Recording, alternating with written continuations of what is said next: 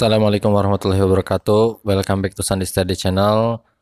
Sudah lama tidak upload video karena ya kesibukan pemilu 2019 teman-teman sudah tahu dan juga kampus saya sekarang sedang melaksanakan UAS jadi memang baru sekarang bisa upload video dan insya Allah pada video kali ini kita akan membahas mengenai bagaimana sih lembaga Quickon bekerja gitu sehingga ya penasaran pasti teman-teman penasaran kenapa sih kok bisa menghasilkan angka segitu Nah, saya akan membagikan bagaimana sebenarnya lembaga Quickon itu bekerja.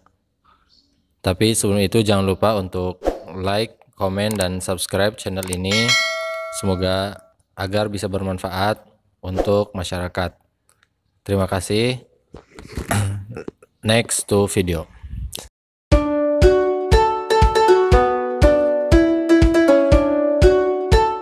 Ya, kita semua masyarakat Indonesia telah melaksanakan event yang sangat luar biasa, event besar. Itu kan pesta demokrasi yang telah dilaksanakan pada 17 April 2019 yaitu pemilu ya, pemilu 2019. Dan pastinya masyarakat Indonesia penasaran siapa sih yang akan menang gitu kan, siapa yang akan menduduki kursi legislasi untuk periode sekarang gitu kan, terutama yang paling yang menurut saya paling wah itu ya pemilihan presiden gitu kan. Siapa yang akan menduduki kursi presiden seperti dan wakil presidennya.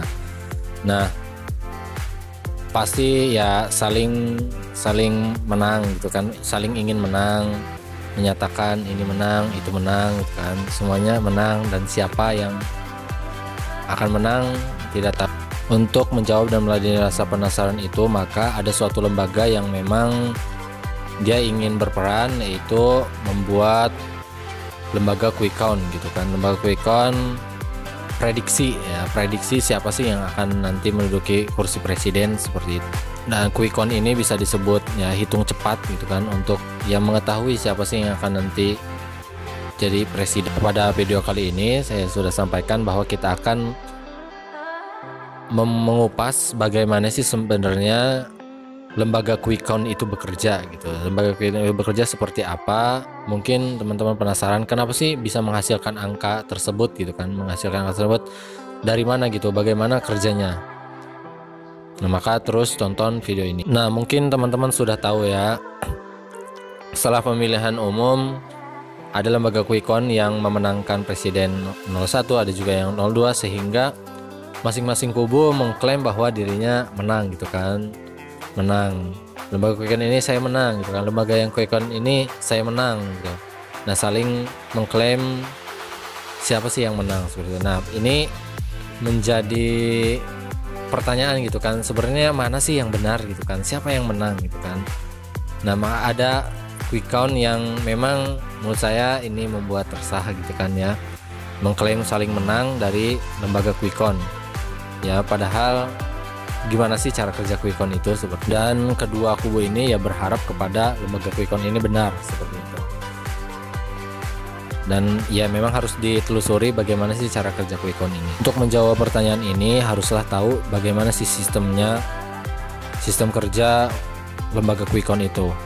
Nah teman-teman lembaga Quickon ini ya pada intinya dia menggunakan metode atau sistem yang bernama sampling. Ya intinya mengambil sampel ya dan sampel dari berbagai daerah seperti itu. Jadi contohnya misalkan di suatu kota, di suatu kota ini dia memiliki beberapa kecamatan dan memiliki beberapa desa gitu. Nah, itu hanya diambil beberapa beberapa beberapa saja gitu dari setiap kota itu, dari setiap kota dia hanya mengambil beberapa kecamatan gitu. Mengambil beberapa kecamatan dan dari beberapa kecamatan itu hanya diambil beberapa desa dan dari beberapa desa itu hanya diambil beberapa TPS. Nah, jadi nanti sudah ditemukan TPS yang mana yang akan menjadi target.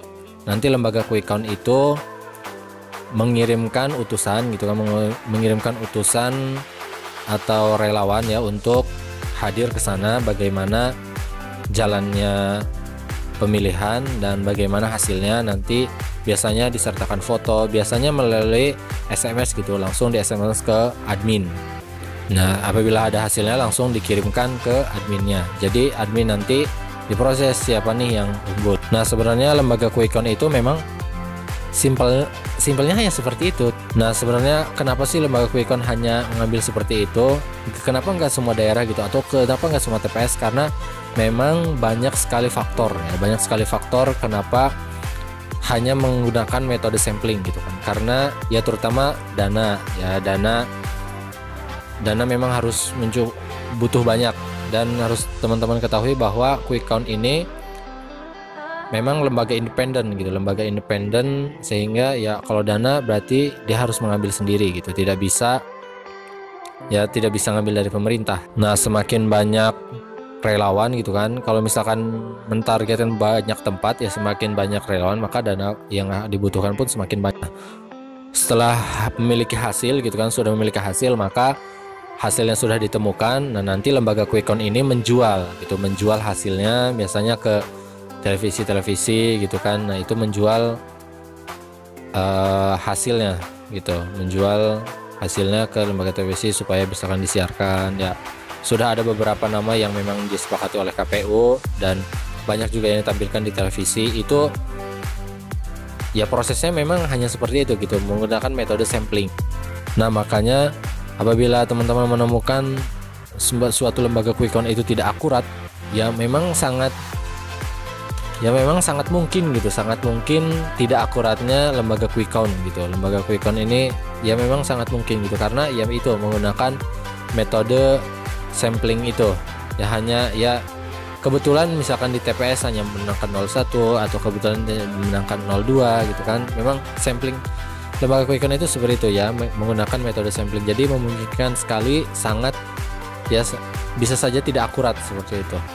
Tidak benar-benar sesuai dengan di TPS terlebih lagi apabila si lembaga quick count ini memihak kepada salah satu paslon seperti itu. Jadi ya sangat mudah dirubah datanya seperti itu.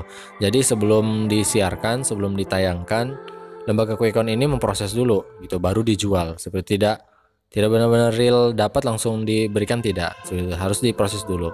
Ya maka kalau apabila lembaga count ini memihak ya bisa saja di bisa diedit gitu kan bisa diedit sangat mudah. Seperti nah menyikapi ini ya masyarakat Indonesia harap bersabar gitu. Kita menunggu saja keputusan realcon dari KPU terus mengawasi ya terus mengawasi jalannya penghitungan gitu kan. Jangan sampai tersulut emosi gara-gara quick count lihat kok yang menang ini kok yang menang ini lembaga Quickcon nah jangan sampai tersulut emosinya dan menurut saya mengklaim langsung menang itu ya kurang baik juga gitu kan. Tunggu saja hasil realcon nah bagi masyarakat yang mendukung salah satu paslon maka buktikan dukungan kalian gitu kan dengan ya menjadi ya meng, mengawal terus perhitungannya. Seperti jangan sampai ada kecurangan yang terjadi.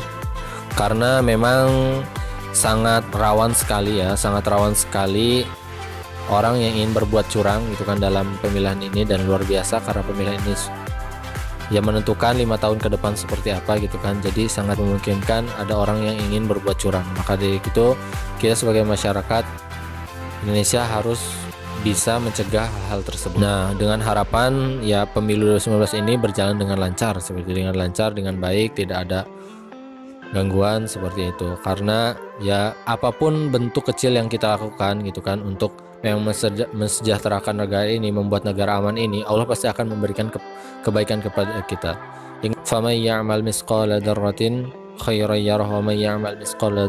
Syarran yarah. Jadi Allah tuh ya pasti ngelihat apa yang kita perbuat gitu. Ketika kita berbuat baik Allah pun nanti akan berikan kepada kebaikan kepada kita. Tapi kita berbuat buruk maka Allah pun akan memberikan keburukan kepada kita. Jadi teruslah berbuat baik ya, usaha bagaimana pemilu ini berjalan dengan lancar. Seperti itu. Nah, mungkin itu untuk video kali ini semoga bermanfaat. Semoga teman-teman setelah nonton ini mendapatkan pengetahuan mengenai bagaimana sih lembaga Quickcon bekerja seperti itu. Nah, maka dari itu Apabila teman-teman rasa ini bermanfaat, jangan lupa like, komen, dan share. Dan tentunya buat teman-teman yang sudah nonton, jangan lupa untuk subscribe channel ini, dukung terus channel ini supaya bisa upload banyak video yang bermanfaat. Terima kasih. Assalamualaikum warahmatullahi wabarakatuh.